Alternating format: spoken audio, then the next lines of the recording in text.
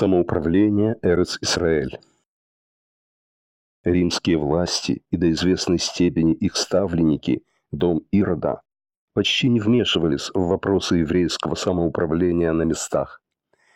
Последние цари династии Хашмонаим, Хасманеев, цари дома Ирода, а также римские прокураторы постепенно лишили Санедрин, Верховный суд, большей части его полномочий. Он утратил право наложения вето на важные политические решения, а в дальнейшем и право выносить смертные приговоры. За 40 лет до разрушения второго храма заседания суда уже не проходили в нем. Согласно закону Торы, прекращение заседаний в храмовом зале, расположенном в непосредственной близости от жертвенника, означало невозможность в дальнейшем разбирать дела о преступлениях, наказанием за которые является смертный приговор. По закону дела о преступлениях, наказуемых смертной казнью, могут разбираться всеми компетентными судами только в том случае, если местом заседаний Великого Сангидрина является определенное помещение в самом храме. Изгнание Сангидрина было во многом добровольным.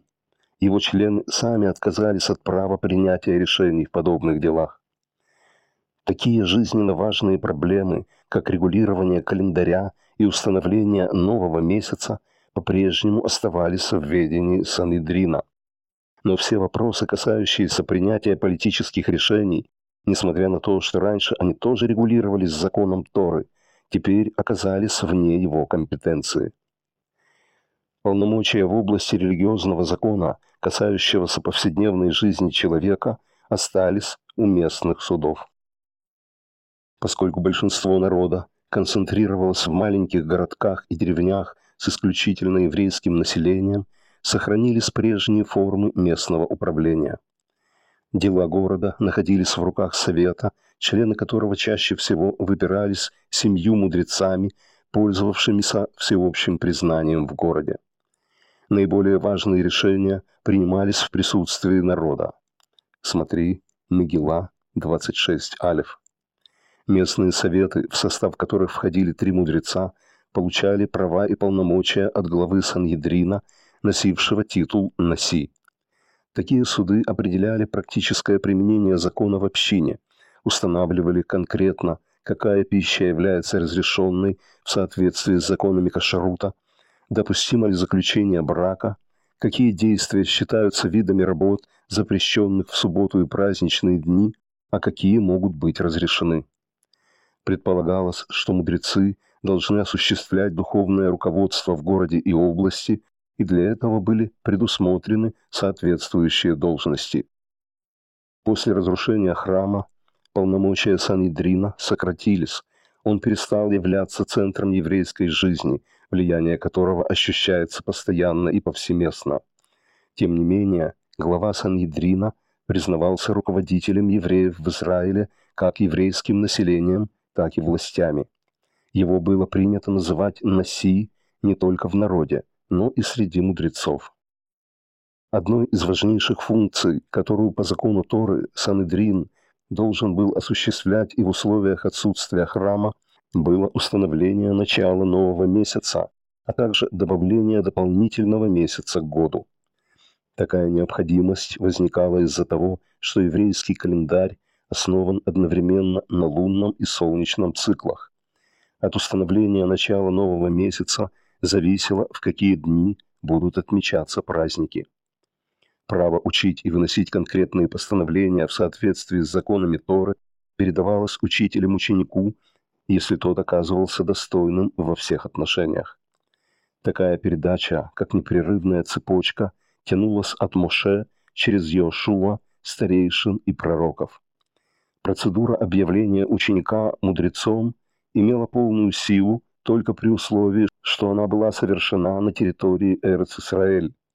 В этом случае тот, кого объявляли мудрецом, признавался авторитетом в любой из областей законов Торы. По древней традиции объявление мудрецом не могло состояться без одобрения Наси. Это способствовало сохранению главой Санедрина статуса духовного руководителя народа. По мере усиления римского гнета Наси все более нуждался в поддержке. Руководители вавилонской диаспоры неоднократно пытались установить с главой Санедрина более тесный контакт, чтобы придать ему дополнительные силы и вес. В 358 году под руководством Наси Гилеля II были произведены расчеты, опирающиеся на астрономические сведения устной Торы. Это позволило создать постоянный календарь, в основу которого был положен 19-летний цикл, учитывающий все годичные изменения. Определение дня начала месяца по свидетельству тех, кто наблюдал появление новой Луны, периодическое добавление дополнительного месяца к году и другие правила регулирования календаря являлись основным моментом централизации различных аспектов жизни всего еврейства. Поэтому, отказавшись от ежемесячного и ежегодного регулирования календаря, Гилель II отказался тем самым от важнейшего механизма влияния Санедрина на весь еврейский мир. Значение Наси как руководителя всего народа постепенно ослабевало, и в 429 году эта традиционная должность перестала существовать. Упразднение должности Наси – произошло после раскола Римской империи и принятия христианства Восточной Римской империей в 324 году. Византия, под властью которой оказалась территория Израиля, старалась вытеснить оттуда евреев с помощью непомерных налогов и всевозможных ограничений.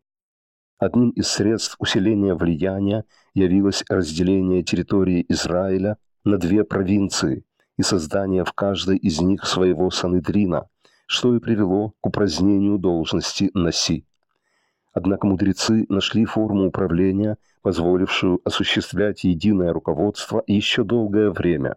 В Твери был организован Великий Совет Бейт Вагат Агадоль, который заменил Наси. Все время, пока существовала должность Наси, его власть не подкреплялась ничем, кроме традиций и общего признания, которые только и могли сделать его реальным правителем. После раби Иуды Ганесси 135-220 годы лишь Гилель II обладал достаточным авторитетом, чтобы в полной мере управлять всеми делами народа. Такая важная функция, как сбор налогов, никогда не осуществлялась на Си, Этим занимались старейшины. Они же ведали сбором тех частей урожая, приплода скота и отдельных частей туш животных, которые по закону Торы принадлежат Куаним.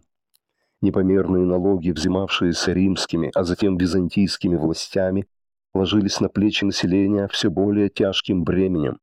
Их сбор был нелегким и неприятным занятием, и в конце концов все начали уклоняться от этой тягостной обязанности – а должности, связанные со сбором налогов, утратили прежнее значение. Вероятнее всего, управление на местах осуществлялось с одной стороны местным судом, а с другой – главой собрания, который назывался греческим термином архисинагогус. Должность архисинагогуса существовала уже в период второго храма, но ее значение возросло позднее – Ослабление централизованного управления привело к тому, что местные лидеры, пытаясь выйти на политический уровень, стремились к установлению самостоятельных отношений с нееврейскими властями. Например, Раби Абагу из Кейсарии, 300 год, стал главной политической фигурой своего поколения, несмотря на то, что формально не был наделен какими-то ни было полномочиями. Ослабление центральной власти и сужение сферы влияния Великого Совета происходили на фоне общего ослабления еврейских общин и уменьшения численности еврейского населения на территории Эрец-Исраэль.